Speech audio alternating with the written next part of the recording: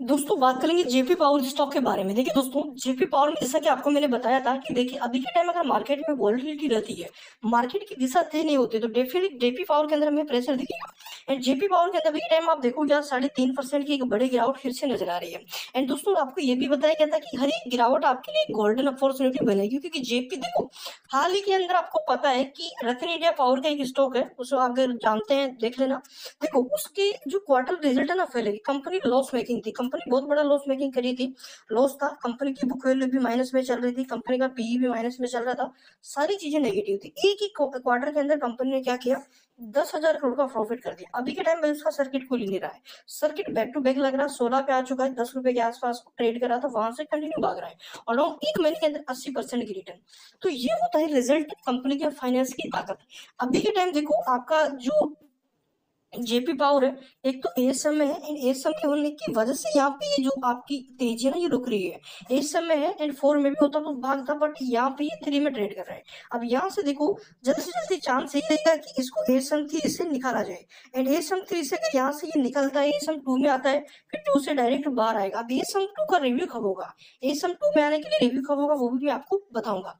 Main चीज़ अभी के time बताऊँ मैं, आज की बीस रुपए पच्चीस पैसे के हाई थे ओपन हुआ था बीस पच्चीस पे।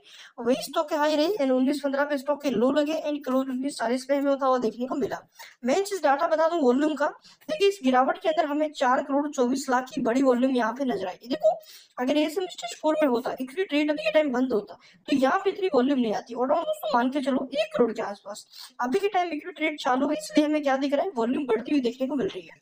मेन चीज़ डिलीवरी अगर देखा जाए फिफ्टी वन परसेंट के आसपास की डिलीवरी है। जेपी पावर के अंदर अभी के टाइम इन्वेस्टमेंट करने का मतलब है दोस्तों एक सही इन्वेस्टमेंट यहाँ पे रहेगा ठीक है ना? सही तरीके से, सही टाइम पे इन्वेस्टमेंट देखिए, दस लाख अठावन हज़ार शेयर अभी के टाइम हमें एमओ के अंदर पॉजिटिव में बाइंग ऑर्डर में देखने को मिल रहे हैं, जो कि एक अच्छा डाटा देखो डेली बेसिस अच्छी अच्छी क्वालिटी यहाँ पे डिलीवर हो रही है अच्छा डाटा नज़र आ रहा है। बस स्टॉक का प्राइस गिर रहा। है भाई, देखो मेन चीज़ समझो, हम प्राइस को ही पूरा महत्व देते हम कंपनी के किसी भी डाटा को महत्व देते। प्राइस बढ़ गया तो हम कहते हैं कि भाई स्टॉक अच्छा है रिटर्न मिल गया, मेरा पैसा प्राइस से बन रहा है।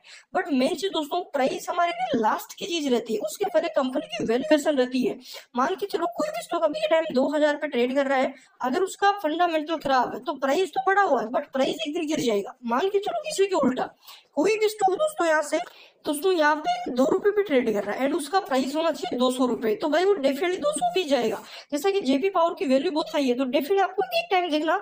आप बोलोगे कि भाई आप सही बोल रहे हो तो जब इस सम से बाहर निकलेगा इस सम से बाहर निकलने के बाद थोड़ा सा सस्टेंस करेगा। सस्टेंस करके जैसे ही कुछ पॉजिटिव मिलेगा सर्किट लगा देगा यहाँ से।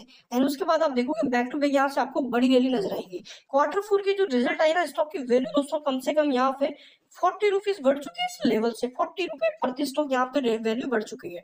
मार्केट में टाइम वॉलिटिलिटी है एनर्जी सेगमेंट आज ऑलराउंड डेढ़ परसेंट तक इंडेक्स हमें गिरता हुआ देखने को मिला।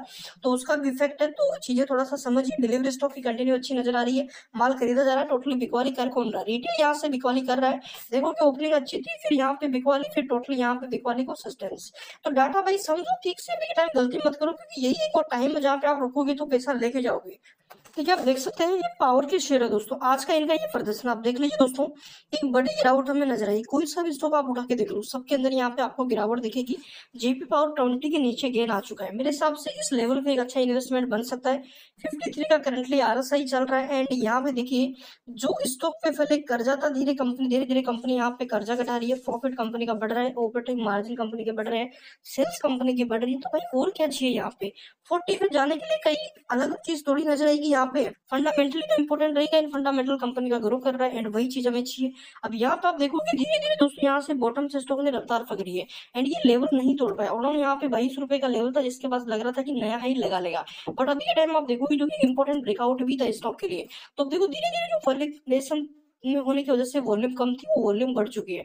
पर जैसे यहाँ पे दोस्तों ये गिरा, आप देखेंगे वॉल्यूम हमें घटती हुई देखने को मिली। जैसा कि आपको मैं थोड़ा सा सही यहाँ तरीके से बताता हूँ, यहाँ पे आप समझो देखो।